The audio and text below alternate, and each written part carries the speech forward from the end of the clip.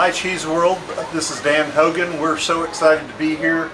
Um, we got the invitation to come down to Stanzeski's grand opening and uh, drove all the way down from Dallas in terrible traffic and we don't care. We're here and we're happy and delighted to be with Yeah. these two wonderful CCP cheese professionals.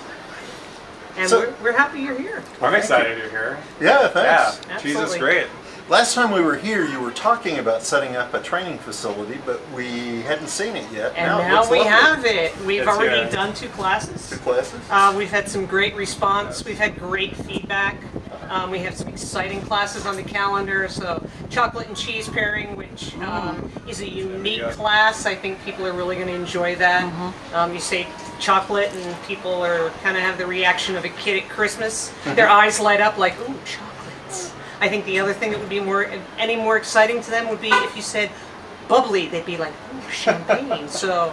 But it's exciting. With so, chocolate With and chocolate, cheese. absolutely. Oh, yeah. So. Well, you mentioned uh, kids, and I noticed uh, one of the classes is aimed at children. Can you tell me a little about that? Sure, we you know we want to just like with older folks, uh, we want to have people feel comfortable about cheese.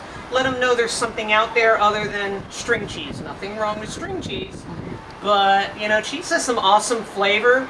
Um, sometimes if you don't have cookies to go with your milk.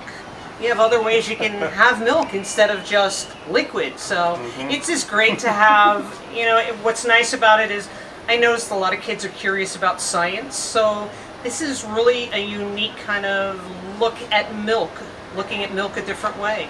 So we're, we're excited about that class as well. Um, you know, we've got a nice full calendar up for October. We're already working on November and December. So. That's great.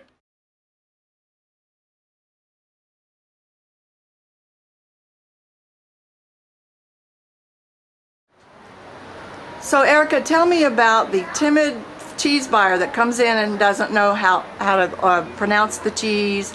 They have no idea what's going on. Well, you know, my first, my approach, initial approach to any guest, um, they can be really overwhelmed, intimidated if we have a large number of cheeses in our case. I think the best thing to do is ask them, what's the last cheese you had? What kind of flavors do you like? Do you like soft? Do you like hard? Best thing to do, I find, is the best starting point. What's the last cheese you ate?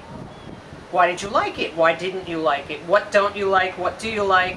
And then we kind of give them samples so that we can get them to expand their taste profile a little, but not give them something out of left field that's going to intimidate them. Kind of keep them on that same path and then slowly graduate them to some really awesome cheeses. When a, a new customer comes in to Antonelli's, and you can just tell that they are just petrified because there's th- what 300 cheeses. What? How do you make them feel comfortable? We, um, I like to ask them what is their favorite type of cheese, looking at more texture-based soft or maybe hard cheese, and while they're telling me what they like, I have my favorite cheese ready to go, and I'm handing it off to them. So while they're talking, telling to me uh, what their favorite cheese is, what kind of style they like, they're already eating my favorite cheese, and we can kind of talk along that journey of why this cheese is my favorite, and then kind of meld into what cheeses that they're going to like down in the case. Yeah, and I think that's a great approach what Alex does. I find it that's also another great approach. Hey, here's my favorite cheese. Let me tell you why. And, and let's talk about it and you taste it as well. So they kind of gets them a little more relaxed so they really really feel comfortable comfortable with the cheese that you're asking them to taste and you trust them. Um, the fact that Alex and myself are CCPs, I think puts a little more um, credibility, as it were, to that cheese. They're like, whoa, this person's a CCP. They know cheese. You know, and now they have a resource, it kind of lightens their intimidation factor.